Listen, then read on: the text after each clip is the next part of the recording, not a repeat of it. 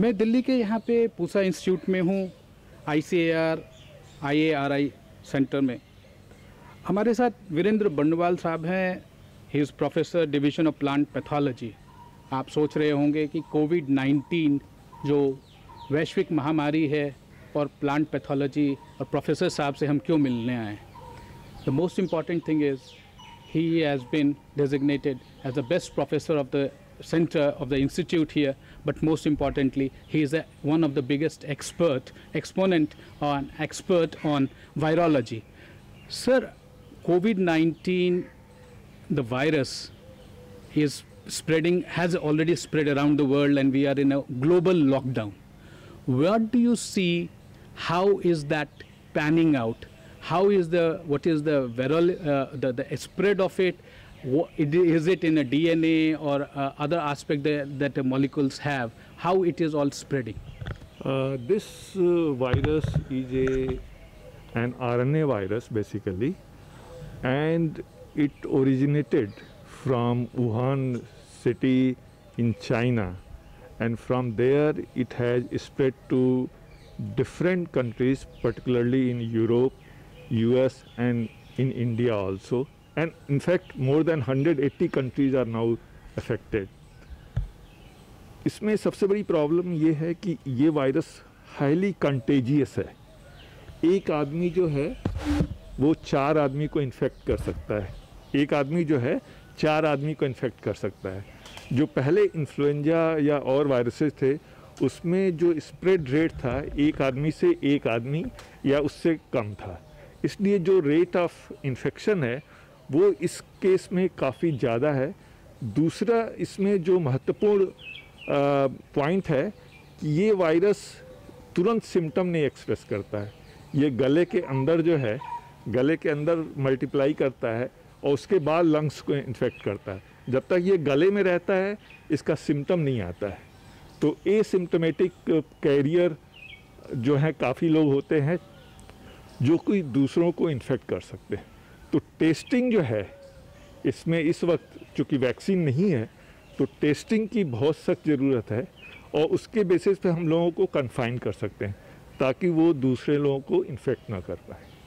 Sir आपने ये कहा कि ये आरएनए वायरस है इट इज़ नॉट डीएनए यदि हम एक मॉलिक्यूल को ब्रेकअप करते हैं तो ये टू डिफरेंट पार्ट में ये ब्रेकअप होती हैं। Can you shed some light on what is R N A R N A type of virus और इसमें यह भी एक इशू आता है कि इसका जो म्यूटेशन है वो बहुत फास्ट है and also because it is something that is nature of problem as well because आपको उसका सोल्यूशन और उसका वैक्सीन ढूंढना उतना ही और टफ हो रहा है। आ, अभी तक दुनिया में 180 इसके जीनोम सीक्वेंसेज अवेलेबल हैं। ये आरएनए वायरसेज हैं। और इसका अगर स्ट्रक्चर देखें तो इस वायरस में एक एनवलप होता है, जिसमें एक स्पाइक होता है और उस स्पाइक में एक प्रोटीन जो होता है, वो ह्यूमन बॉडी के सेल्स को, वो बाइंड करता है। तो उसकी वजह से जो है, उसको हम ब्रेक कर पाएँ कि वो बाइंड ना कर पाए और इस तरह के वैक्सीन्स पे काम हो रहे हैं बेसिकली तो म्यूटेशन जो है, बहुत अधिक नहीं देखा गया है। कुछ स्ट्रेन्स में एक, दो, तीन म्यूटेशंस देखे गए हैं but they are scientist are working on that whether these mutations will be responsible for or will be very important in developing vaccines और नॉट अदरवाइज़ जो स्पाइक प्रोटीन है, उसके अगेंस्ट ये जो है वैक्सीन बना रहे हैं। तो वो स्पाइक प्रोटीन को एज ए एंटीजन बनाना एक बहुत बड़ा चैलेंज है। एंड बहुत सारी प्राइवेट कंपनियाँ और सरकारी एजेंसीज यूएस में चाइना में और इंडिया में भी इस पर काम कर रही हैं वैक्सीन बनाने के लिए।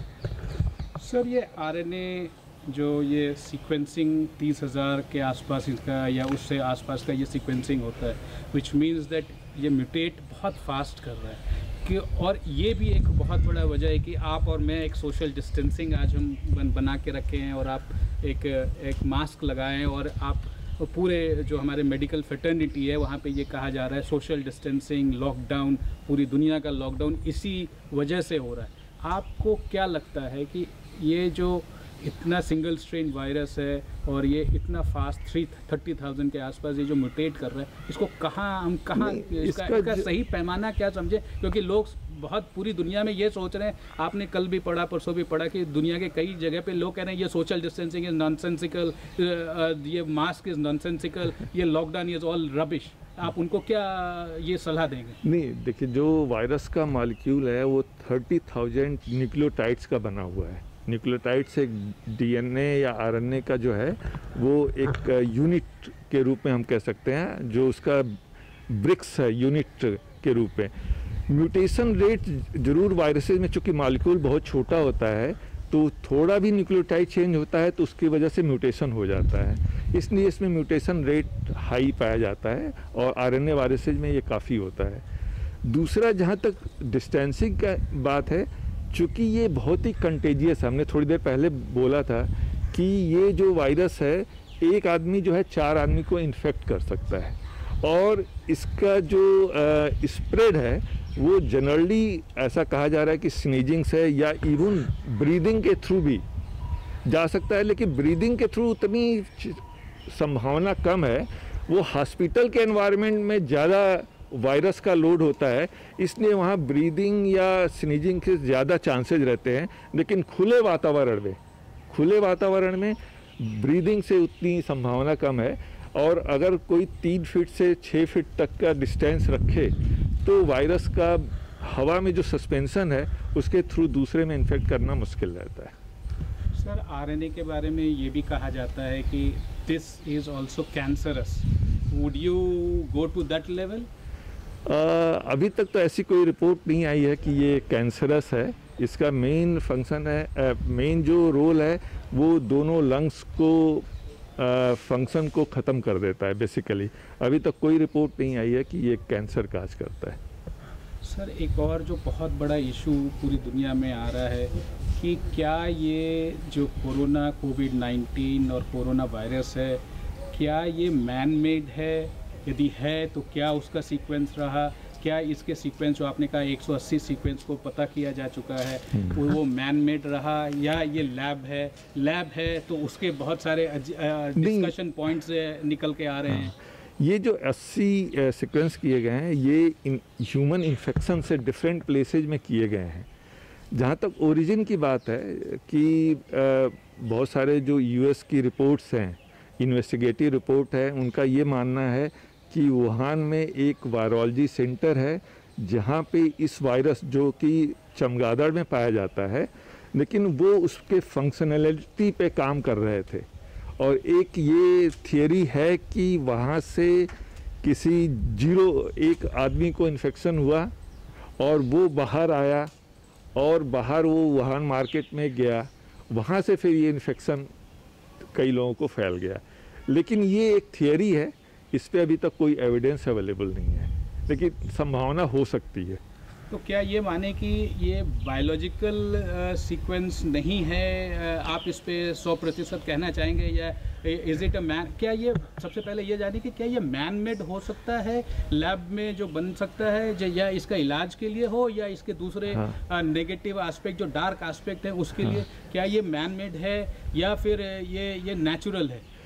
देखिए वायरसेज में चूँकि म्यूटेशन बहुत होता है तो ये कहना बहुत मुश्किल है कि ये मैन मेड है। लेकिन लेबोरेटरीज में इसको सिंथेसाइज किया जा सकता है। इनफैक्ट ऑस्ट्रेलिया में इसकी अभी एक सिंथेसाइज जीनोम किया है, एक लैब में।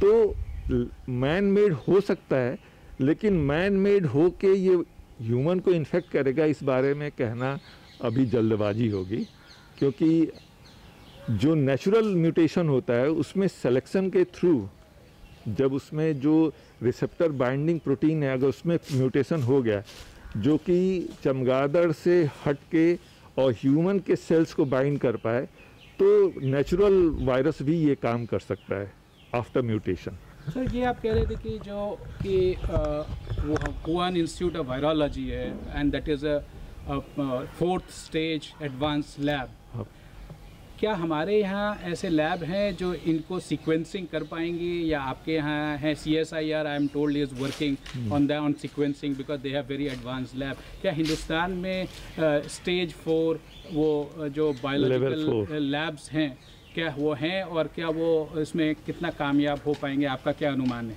नहीं बहुत सारे लैब्स हैं जो कि एडवांस लेवल तो आईसीआर में इंस्टीट्यूट्स हैं जहाँ पे आजकल थ्री तीन इंस्टीट्यूट्स हैं जहाँ पे टेस्टिंग हो रही है।